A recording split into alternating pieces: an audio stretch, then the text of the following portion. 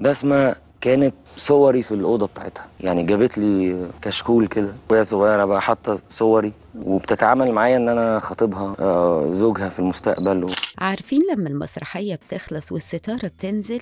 أهو ده اللي بيحصل دلوقتي في قصة تامر حسني وبسمة بوسيل المرة دي طلاق نهائي. ما فيهوش لا نرجع عشان خاطر العيال ولا بحبك يا مجنونة وهسامحك المرة دي. طيب إيه اللي وصل الموضوع لكده؟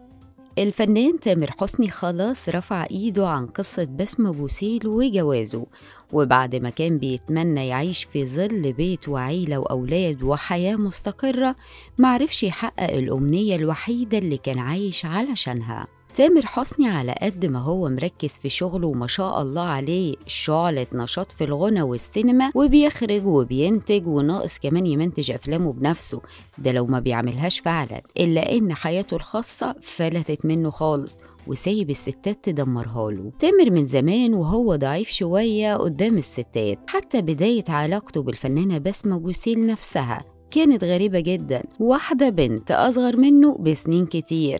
قابلها في برنامج مواهب زي أي شباب متحمس.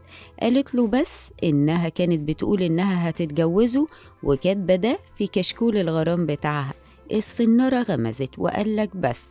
هي دي اللي بتحبني وهتبقى أم عيالي. بركات الشيخة خديجة المغربية. الغريبة بقى إن تامر حسني بجد عنده مشكلة مع المغاربة. يعني بسمة بوسيل توقعه وتتجوزه وتخلف منه تلات عيال. والبلوجر المغربية جليلة.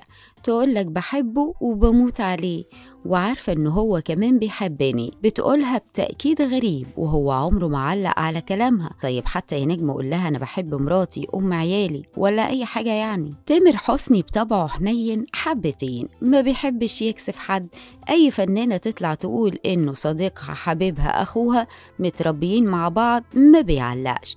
بس للأسف بسمة بتغير بتغير جدا. وفي أوقات كتير كان بيبقى رجلها على رجله لمجرد إنها تراقبه وتعرف بيروح فين وبيعمل إيه. وده عمل مشاكل كتير جدا ما بينهم وللأسف المرة دي مش أول مرة ينفصلوا وكل المقربين منهم بيقولوا إنها الطلقة التالتة. يعني ما فيهاش رجوع.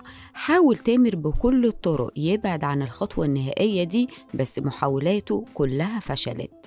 تامر وبسمة منفصلين فعلا من فترة وكل واحد فيهم كان قاعد في مكان واخدين بريك من بعض يعني عشان يفكروا بهدوء ويراجعوا نفسهم. لكن مفيش فايدة انتهى الأمر ووقع الطلاق وخدت العيال وسافرت بعيد عنه. للأسف تامر زي ما نقطة ضعفه الستات كمان ولاده هم أكبر نقطة ضعف في حياته. طول الوقت كان خايف بسمة تاخدهم وترجع بلدها وعشان كده كان بيصفى ويسامح ويقول معلش عيلة وغلطت لكن المرة دي الزهق ما سابلهوش فرصة للصلح.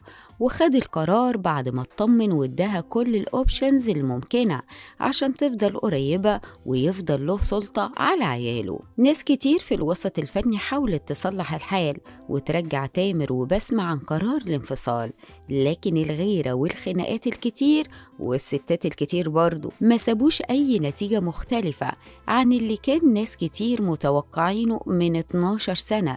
لما اتقال تامر حسني اتجوز فنانة مغربية لسه محدش كان يسمع عنها.